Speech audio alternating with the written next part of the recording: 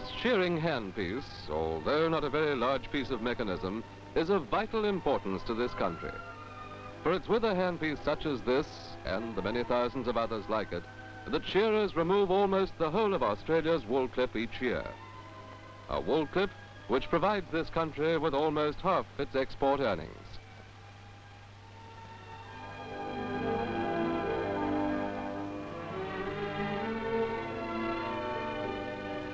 Here in this modern factory, we see some of the manufacturing processes that are necessary for the production of handpieces. From milling, hardening and cutting of the essential parts to the final grinding and polishing of the combs and cutters.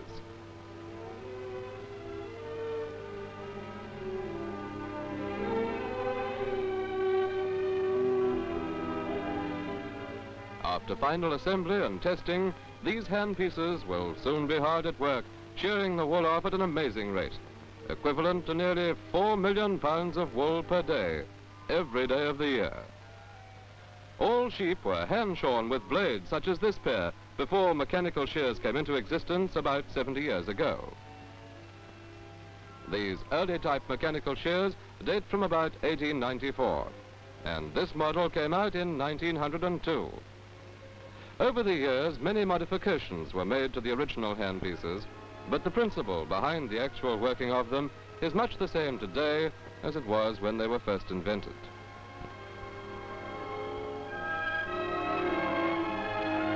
As Australia's sheep numbers grew, shearing by hand had become too slow for the rapidly growing flocks, although some remarkable tallies were put up by some of the old blade shearers.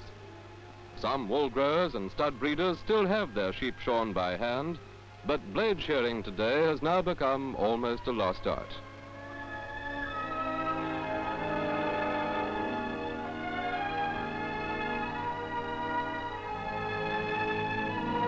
For practically the whole of Australia's flocks of well over 120 million sheep are now shorn with mechanical shears. Although the method of holding sheep for shearing has not greatly changed since the first sheep were shorn here, the coming of mechanical shears was a great step forward in the shearing industry.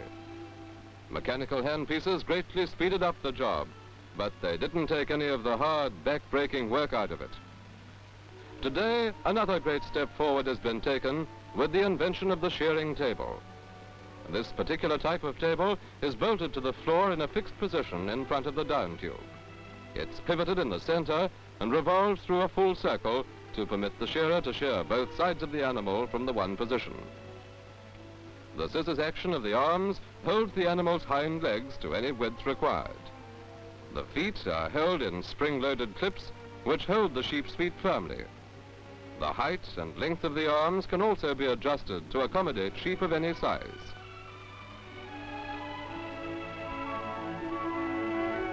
We'll have a look at a sheep being shorn on this table. The sheep is taken from the catching pen in the normal way and lifted onto the table.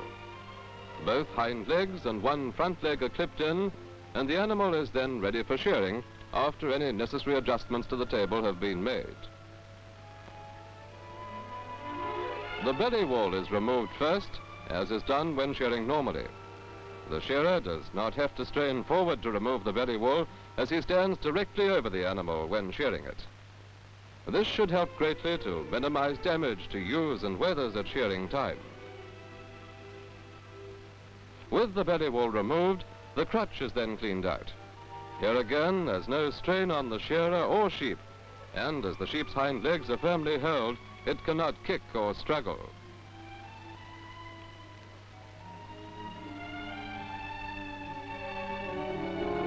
After the crutch is cleaned out, the shearer turns the table and then shears over the tail.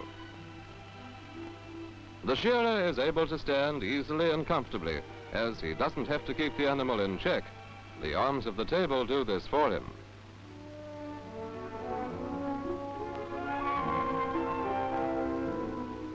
With the wool removed from over the tail, the shearer then opens up the neck wool. The sheep's head is held back firmly and the machine runs up the neck. It's been claimed that over 50% of the effort required to shear a sheep is taken up by the necessity of holding the animal while shearing it. This effort is entirely eliminated by the use of shearing tables. The use of shearing tables will no doubt create the adoption of different shearing procedures to those used now. The shearer is saved the heat and discomfort of working in the old manner as he doesn't have to hug the sheep to his body. He doesn't have to strain to do any blows, and this should make for easier and better shearing.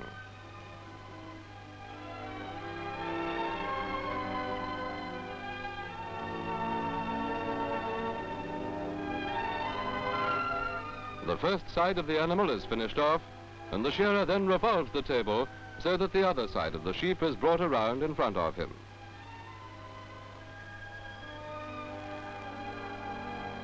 With long blows down this side, the shearer commences the finishing off blows. He holds the sheepskin tight with his left arm pressing against the animal's side and keeps the comb flat on the skin all the time. It's claimed that by the use of shearing tables, second cuts are practically eliminated because the sheep is held in the one position for the whole shearing operation. The animal is then finished off and lifted from the table and put down the chute to the counting out pens.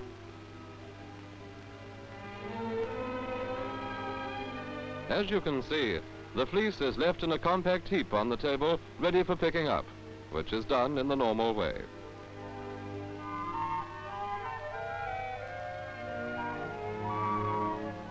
There are several types of shearing tables available. This table operates at floor level so that the shearer can catch load his own sheep.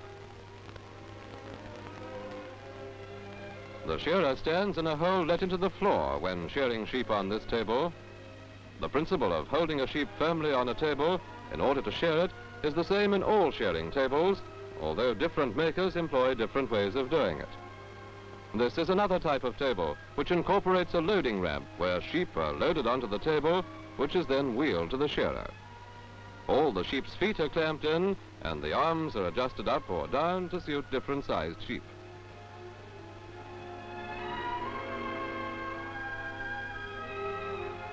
The arms holding the sheep's legs can be rolled over towards the shearer or away from him as needed whilst he's shearing. The side of the table drops down to allow the shearer to stand in closer to the animal if necessary. When the table is wheeled to the shearer, a differential is locked underneath, and the table cannot be moved laterally, but it can revolve in a complete circle as required.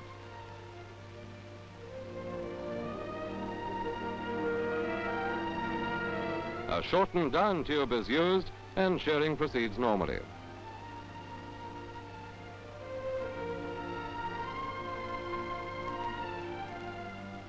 When he's finished shearing the sheep, the shearer lifts it from the table and puts it down the chute.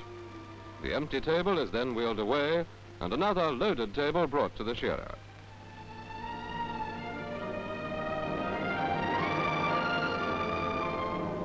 For larger sheds, a chain system using six tables on a motor-driven rotating mechanism has been produced.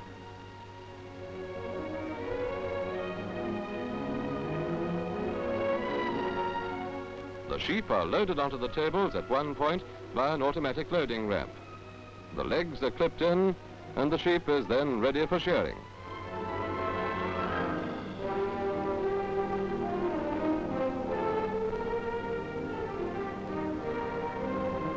When a sheep is loaded, it goes to the first shearer, who removes the belly wool and cleans out the crutch. The second shearer opens up the neck wool and cleans down over the shoulder. As the first and second shearers complete their sections, the machine revolves again to bring this animal to the third shearer.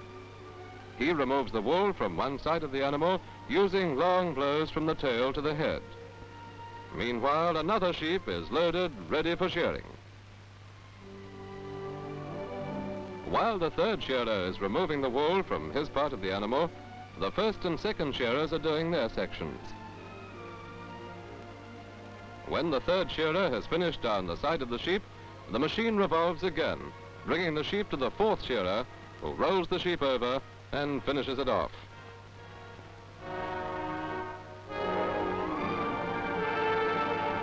Using the chain system, shearers work as a team, with each man shearing only his allotted section of each animal. And as the sheep go back to their paddocks to grow more wool, the inventive minds of men keep striving to further improve the mechanical means of shearing sheep. And so, a great industry moves forward.